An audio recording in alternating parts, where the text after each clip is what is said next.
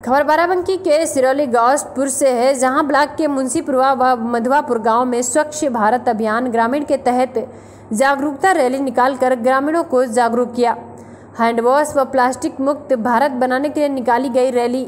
मुंशीपुरवा मधुआपुर गाँव में ब्लॉक सिरौली गौसपुर के बीसी वीरेंद्र कुमार स्वच्छ गृही व प्राथमिक विद्यालय के बच्चों द्वारा निकाली गई रैली।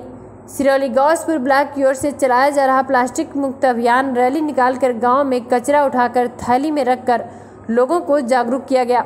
रैली में मुंशीपुरा ग्राम के ग्राम पंचायत अधिकारी ब्रजेश शर्मा, वर्मा व माधवापुर गाँव पंचायत अधिकारी धर्मेंद्र कुमार ब्लॉक को ऑर्डिनेटर वीरेंद्र यादव, स्वच्छाग्रही अमित गुप्ता, आनंद शैलेंद्र, रवि अर्चित पटेल, रोशनी वर्मा, शिवानी शुक्ला आदि लोग मौजूद रहे